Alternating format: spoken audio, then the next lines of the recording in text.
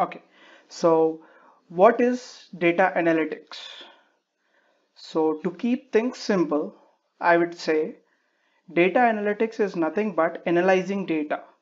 So is it how sim is that how simple it is? Yes, it is. So what is analyzing in the first place now? So analyzing is nothing but examining. Now what is examining? Examining is nothing but surveying. So if you guys are from India, you, we all know that there might there will be people coming to our house to survey for the survey details and all, right? And also if you if you people are from anywhere around the world, we all know the online surveys and all. So what exactly happens in that online survey? They collect data from you and they do something with that data, right? So that is what exactly is data analytics. So to keep things simple again, I would say data analytics is nothing but telling a story with data. So uh, why data analytics is important and why do we need it? Why do we have to do analysis on data in the first place? So let's take simple examples again. So let's say I own a fireworks shop, okay? Fireworks shop, okay? So I know that during Diwali, which is an Indian festival, my mark my sales will be high and also I know that during New Year New Year Eve my sales will be high. And how do I know it? I know it because from my past experiences right? Maybe from the past 5 to 10 years I know that my business will be very huge during Diwali or let's say New Year's Eve or something right? Now let's consider it in let's consider one more example of data analytics okay? So let's say now I own a sweet shop okay so I know that during festivals or during uh, any important occasions I know that my business will be very high. And how do I know it? It's the same again. It's from the previous examples past ex past experiences right? So now let's consider one more example uh, which is the last one. And uh, let's let's take the current situation into our consideration which is COVID-19 right so we have been seeing news and all we have been seeing like a lot of people predicting that this country might get a lot of you know COVID cases and all and how do they do that right so this so all this comes under data analytics so data analytics is nothing but telling a story with data. Okay. So is it just a story? No, it's a meaningful story with which you will make decisions and predictions. Okay. So, so before you can tell the story with data, you have to process the data. Okay. So in the process in the processing step you will be having identifying the data cleaning the data transforming the data modeling the data see you can't directly get the raw data and do whatever you want right? You have to change it in such a way so that you can make a beautiful story with it right? So the process which is involved is identifying cleaning transforming and modeling data okay? So these four steps you'll perform on the data and then only you will be able to make reports from the data and from these reports will use will get the predict will make the predictions or will make an analysis of the data okay so there are five categories of data analytics right so one is descriptive analysis so analytics so what is descriptive analytics it's nothing but uh, the first example which I have given you the fireworks shop okay so it's like descriptive analysis helps answer questions about what has happened. So what has already happened. So with that, we'll answer the questions like, okay, let's say during Diwali, uh, in past year 2019, uh, my fireworks shop has been very, very, I mean, has been, has done a very good, great job. I mean, my business was very good. So how did I tell it, right? because of my past experience, right? And that's all comes under descriptive analysis, analytics, okay? So next one is diagnostic analytics, okay? Now diagnostic analytics is used to it's used to tell you like why things happen. Like why at this particular moment only my business has you know uh, performed very well. Why? So all the questions like related to why are answered in diagno diagno diagnostic anal analytics okay? Now predictive analytics the name suggests this right? So uh, prediction about the future. Like what happens in the future? What will happen if I do something like that? So what will happen if I do something like this? Okay. How will it affect my business and all? So all that comes under predictive analytics. Now prescriptive analytics. Now prescriptive analytics are things like you know if I do this I have to attain this goal. And if I do this I have to attain this goal so it helps you answers like what actions should you have to take that what exact action you have to take to achieve your goal. Let's say I have uh, sold around uh, 100k of my fireworks in previous year and now I want to sell it around 200k I want to make profit around 200k this time. So how to achieve it? So that is what prescriptive analytics will tell you okay? So now cognitive analytics so what is cognitive analytics? Cognitive analytics is something like you know uh, during the process at times everything will not go always go as expected right? So there might be situations where you know uh, things get tough and you don't know how to handle it. So cognitive analytics actually helps you to learn what might happen if circumstances change okay and how do you handle these situations? So they help you like what if something happens? How will i handle it? Okay? So it's like okay so what if uh, something happens? Let's say i have put all my fireworks out in the sun and all of a sudden you know cloud shows up and it it's it rains okay? It heavily rains. So what will i do? Should i need a backup for that? Or how will i compensate my loss? All that comes under cognitive analytics okay? So now there are actually actually data has been a buzzword for you know decades decades now right? So is that i mean what are like with this being very important with data being very important from very small scale industries to the large scale industries out there uh, there are many roles that have been emerged. So the five main roles which have been identified in data are business analyst data analyst, data engineer, data scientist, database administrator. So let's just go through like what are these roles, like what are, what do they do and all. Okay.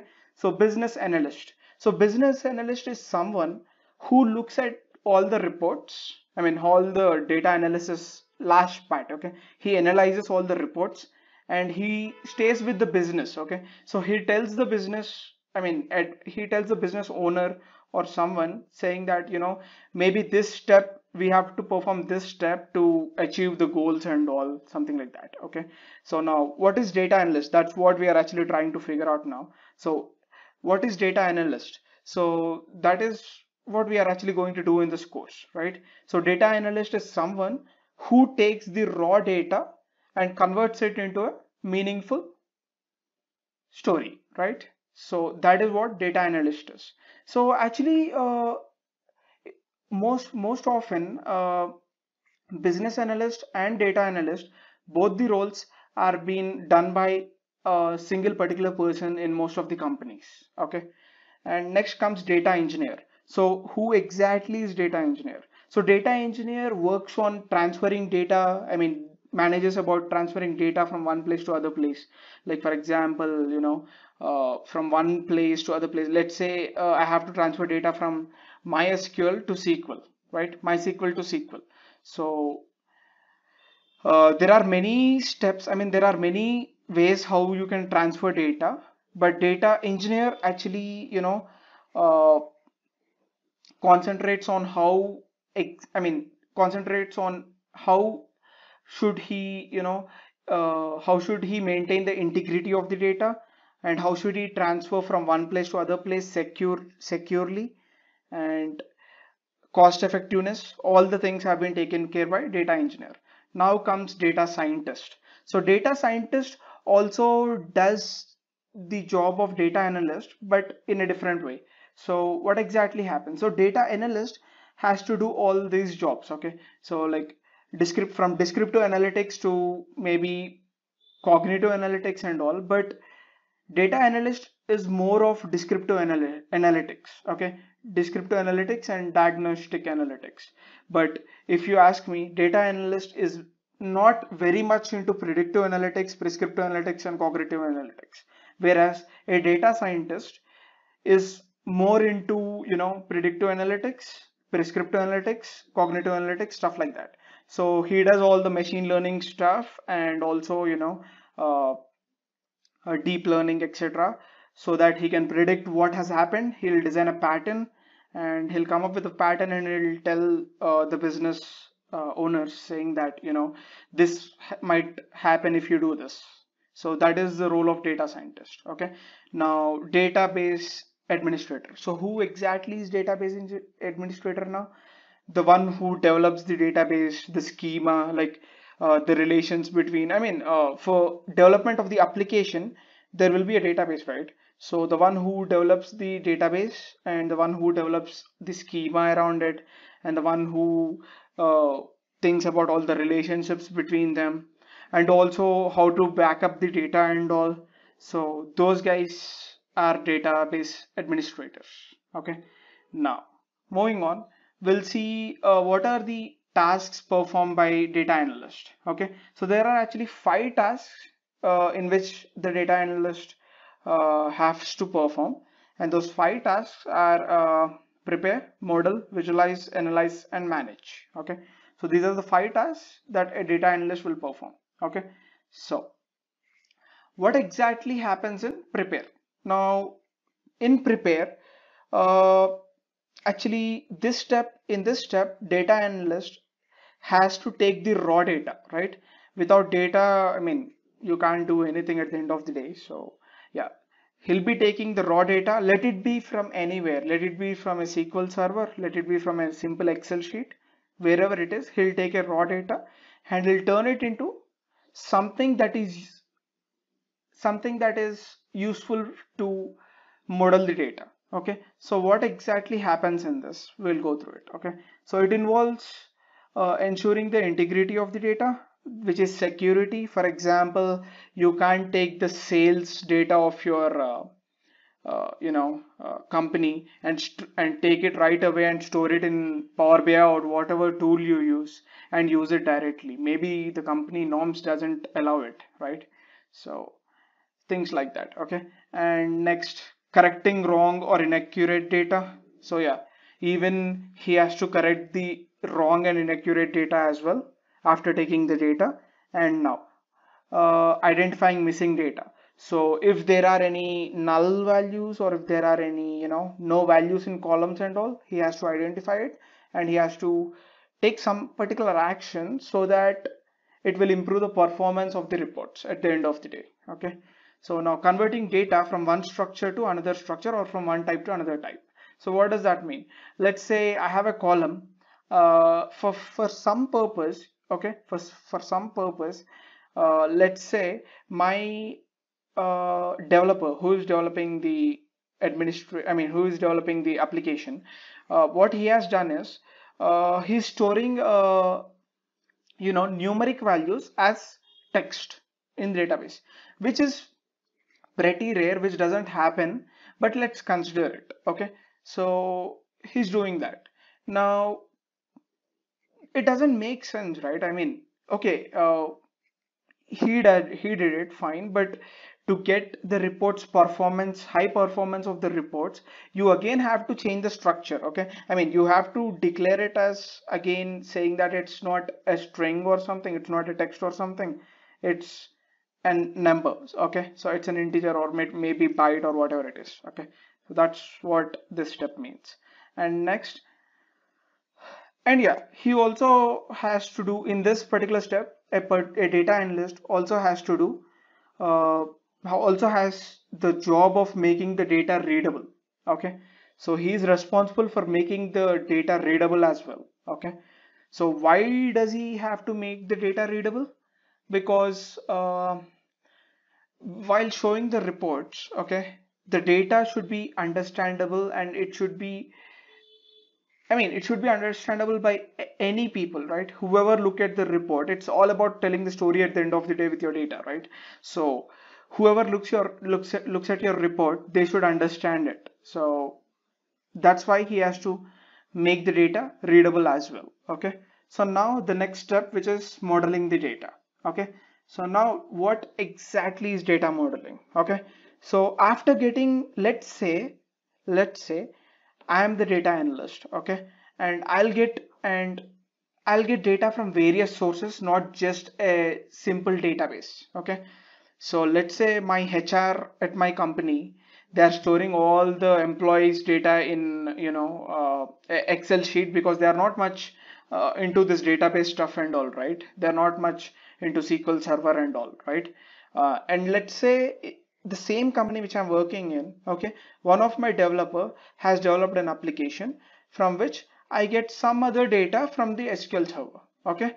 So now what I have to do to get to, I have to get data from both SQL server or and also Excel sheet, right?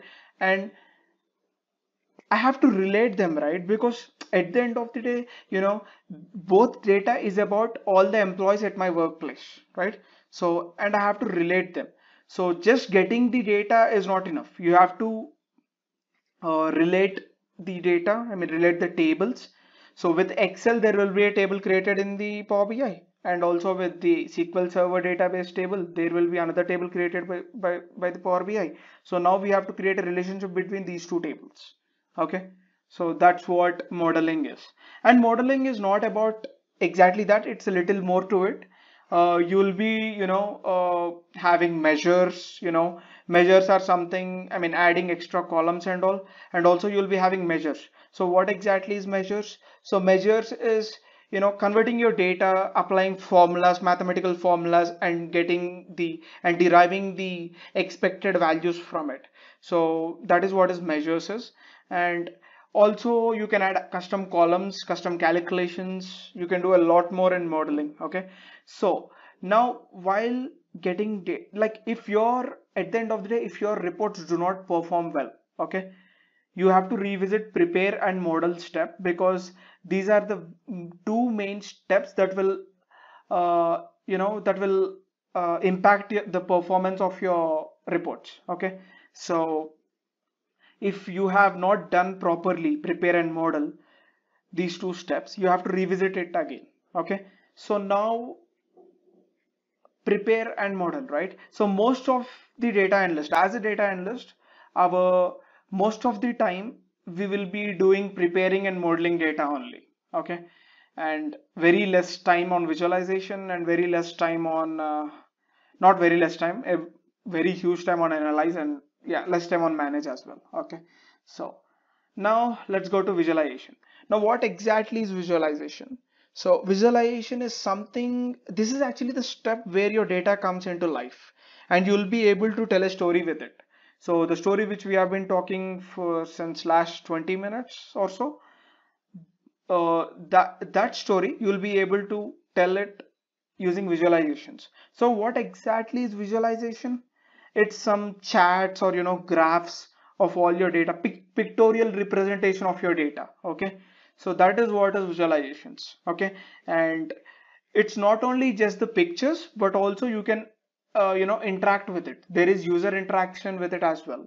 So yeah that is what is visualization. And next step is analyze. Now now that everything is done now that we have done preparing data we have done modeling data and we have also created visualizations the next step which we have to do is analyzing the data I mean, analyzing the reports. Now, as a data analyst, you are supposed to analyze it, right? I mean, I told you guys that uh, as a data analyst, your most of the stuff, I mean, your most of the job lies around descriptive analytics and also, you know, uh, kind of diagnostic analytics and less into predictive analytics, perspective analytics, and cognitive analytics, right? So, but during analysis phase, you are supposed to you know give your inputs for predictive analytics and also the other other analytics as well right I mean, it's not just, you know, descriptive analytics and diagnostic analytics. You have to do your best with predictive analytics and perspective analytics as well. Though it's out of your scope, though you have limited knowledge on machine learning algorithms and all, you have to come up with, I mean, you should be able to at least give your inputs to the data uh, scientist at least in your organization so that he will come up with, you know, proper reports and all. I mean he there there, there might be useful useful inputs at the end of the day right? So so that is what analyzes so you'll analyze you'll answer all the questions that have been asked by your uh, lead or ceo or whoever it is and you'll help your company grow its business. And also you'll help the fellow data people let's say data scientists and uh, by giving inputs of predictive analytics and stuff okay? So now the last step which is manage. So now if you are using i mean uh, in this thing we are using power bi which we all know. So we are this uh, whole session this whole class is about power bi right? So we'll be using power bi so in power bi if you are a data analyst who is using power bi okay there will be many resources apart from you know reports and all. So reports are the visualizations which you will do and uh, dashboards are the places where you will put all these reports and from dashboards you will be sharing the visualizations with everyone in office or all around okay so next comes workspaces. We'll get i mean we'll look into it when time comes. It's not uh, something to talk about right now. So yeah data sets. So data sets also you have to manage. I mean if your database let's say you have a database i mean let's say you are getting data from a sql server right? And let's say your data there is like very huge okay? You can't you know you can't directly get your data. You have to prepare it model it and take only the columns which you need for analysis and try to reduce try to keep try to keep the data as minimum as possible right? So that's where you have to manage your data sets as well. And also he's responsible i mean a data analyst is also responsible for managing you know uh, reports dashboards. Apart from that he's also responsible for security of your assets okay? So these data sets these reports or these dashboards okay? Or even workspaces okay? They can be shared from with anyone okay? They can literally be shared with anyone. So you have to be very careful in security and all like whom you are sharing it with. And you have to be you know very i mean prompt in sharing things with people okay? You can't just give your data set away to someone else okay? Someone from outside company or something okay? Maybe you just want to give reports but not your data sets okay? So yeah. So this is so at the end of the day data analyst is someone okay who will take the raw data from anywhere it is no matter what the source is no matter what the data source is okay? He'll take the raw data and he'll convert it into a meaningful story, a meaningful report with which the business will be able to, you know, uh, perform uh, important data, I mean, important decision making and also predict how their business is going to be in the future. Okay, so okay, so now what exactly is Power BI? So Microsoft Power BI is, in simple terms, Microsoft Power BI is a tool which is used for data analytics, right? As simple as that. And that's why you people are here, right? So yeah, so Microsoft Power BI, let's just go through the definition once. So Microsoft Power BI is a collection of software services, apps, and connectors that work together to turn unrelated sources of data into consistent, visually immersive, and interactive insights. What exactly does that mean? So Microsoft Power BI allows you to collect data from various sources. Not just a, no, it is not limited to only a single source. Okay, let's say uh, let's say few of my I mean let's say few of my tables are in uh, SQL Server and few of my tables are in MySQL Server, which doesn't happen in real world or which might happen, but yeah. So it's not limited to only you know one particular source of data. So the data is collected from many sources okay? So and at the end of the day you'll use this tool and build meaningful insights to people okay? For people. Now so so yeah let's just go through what all is there in power bi okay? So there are actually three main com i mean yeah there are actually two main components in power bi not three which i will say so those two components are you know power bi desktop application. And reminding you guys again power bi desktop application is you know um, executable application on your own and it's only and it's only available on windows. And it's not available on mac linux or any other os okay? And if you guys are planning to use power bi on any other os you have to use your you know uh, parallel uh, os thing uh, hypervisor virtualization okay? So yeah use that with the help of those you have to build a you know windows os and on the top of that windows os only you will be able to run microsoft power bi okay? As of now it's not available on mac linux or whatever it is. It's only available on windows okay? So now oh so it's a desktop application. So what does this desktop application do? We'll look into it again okay? So now there is also an online software as a service which is called as Power BI service. Okay. Now, what exactly happens in, with this service? We'll get into that as well. And then there are mobile, and then there are mobile apps, mobile Power Apps, and they are available on all the you know platforms, all the OS. So now, what exactly happens? I mean, I'll I'll give you the flow of Power BI first. I mean, what exactly happens when you're trying to, you know, get the data and prepare it, model it, analyze it. Okay. How do you prepare reports and all? I'll give you the common flow, which exactly, I mean, which normally happens around. Okay. So what exactly happens is first, you'll be using Microsoft Power BI desktop application. Okay. This is Power BI desktop. Okay. This one around. Okay. I'll be, we'll be getting more into it as the session goes. But yeah. So first thing what we'll use what we'll use is uh, Power BI desktop okay? So this Power BI desktop will in this Power BI desktop will collect the data will model the data will prepare it will model it okay? Will also make reports on it okay? We'll do everything whatnot we'll do almost everything on Power BI desktop okay? And then okay? And then after creating all the reports in this is Power BI desktop okay uh, I know the image is small, but yeah, pardon me. So this is Power BI desktop. Okay. So you will be creating all the reports. You will be getting data. You will be adding relations. You will be adding all the mathematical mathematical expressions which I have been talking about, and you'll do everything. What not? You'll do everything on this only Power BI desktop. Okay. And from this Power BI desktop, once the reports are ready, okay, we'll we will publish them to Power BI service. Okay. This is online cloud service. Okay uh, that's what software as a service means. But it's not just a cloud service. There's more to it. We'll get back to it again. So yeah. So so from here, we'll we'll publish all the reports to Power BI service.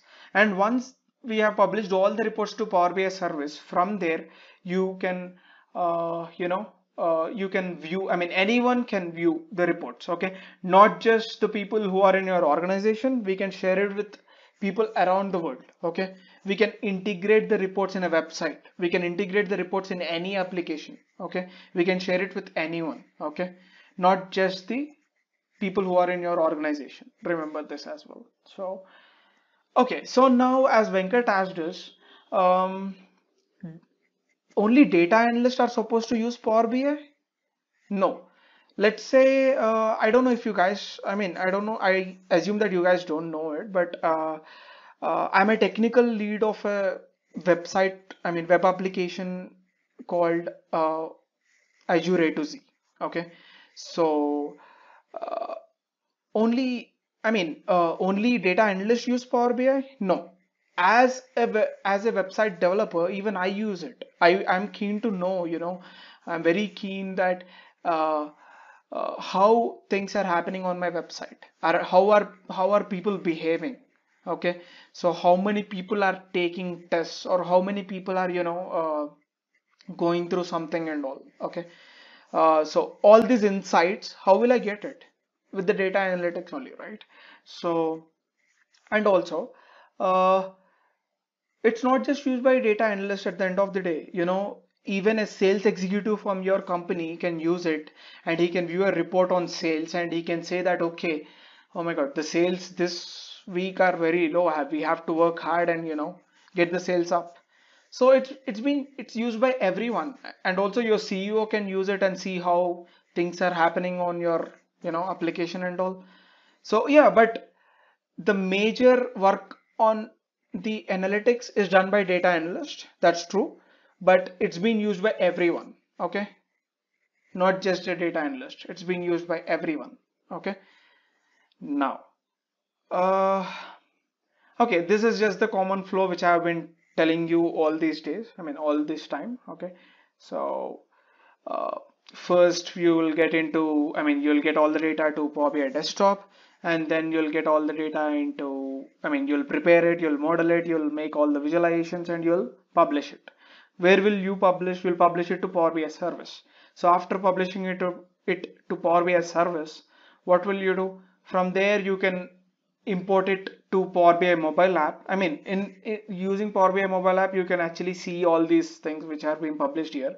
But also, not just the Power BI mobile app, you can integrate the reports to anywhere. You can integrate the reports to your, you know, Xamarin mobile applications and also the web applications. Okay, so it's not limited. Okay, so yeah.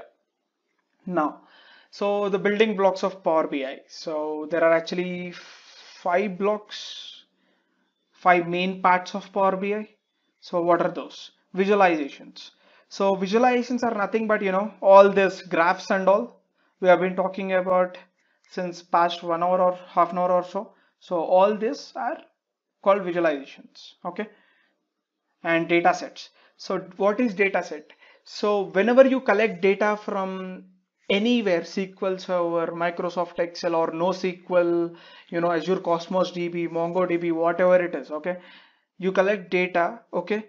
And then that data will be stored in Power BI as well. A local copy of it, once you prepare and model it, a local copy of it will be, once you prepare it, not model it, I'm sorry. Yeah, so once you prepare it, a local copy of data is also stored in Power BI, okay? So this local copy which is stored in Power BI that is called as data set and it and it has you know data as well. It has size it which is up to you know uh, something let's say a few MB or few GB or something okay? So but yeah this data set which is stored in Power BI is compressed data okay? Microsoft not the exact data which is stored on your uh, you know SQL Server or Excel sheet or anything. It's pretty much com compressed and yeah, there is there are advantages to it. Okay, so okay, so next comes reports. So what are reports? Reports are nothing but collection of all the visualizations. Okay, all those visualizations together are called reports. And if you can see, I don't know if it's uh, visible or not, but yeah, if you can see, there is a thing called info new hires actives and separations i guess. Yeah separations uh, bad hires new hire scorecard something okay. These are all pages okay. So in new hires page we have these visualizations okay. So report is not just about collection of uh, visualizations in one page okay. It's about collection of the whole visualizations in all the pages multiple pages not just single page okay uh, we'll add more to it once we start working on Power BI in the upcoming sessions. But yeah, as of now, just understand that visualize, I mean, reports are nothing but collection of visualizations. Okay, they are collection of visualizations and not just visualizations from single page, but also all the pages. Okay, multiple pages or multiple pages. Okay, next. So now dashboards. What exactly are dashboards? I've told you that we'll be publishing uh, Power BI, all the things which I have done in Power BI desktop will be publishing it to Power BI service. Okay. So now in Power BI service, okay, we'll be having a thing called dashboards. Okay. So all the reports which you want, you'll pin it to the dashboard and from that and from the dashboard, you'll be able to share people. Okay. I mean, you'll be able to share that dashboard to your uh, colleagues at the office or at the same time, you can share it to the people whole all around the world okay? And there are things how you can do it. I'll we'll get to that. Okay? So now uh, the last thing which is tiles. So what is what exactly is a tile? Tile is nothing but a single visualization. Okay? Let's say this is one visualization right? So this single visualization is called a tile. Okay? So why do we have to bother about tile? Because uh, tile you know uh, from this page I might like this tile. I mean let's say uh, I am the data analyst and one of you uh, are my superiors okay? So I have done this whole page okay of visualizations okay? But you might like only two tiles in it and let's consider those two tiles as this one and this one. And you don't want these tiles. So what will you do? You will only pin these two tiles to the dashboard okay? You will only get these two tiles from the report to the dashboard and you'll share only those two tiles with the people. And these three tiles you will ask me to improve on it or something like that okay? So that is what tiles is okay? So to i mean uh, this uh, report i mean this thing uh, showing you all confusing. So i'll be showing you guys uh, app i mean uh, power bi service as well like how things have been you know uh,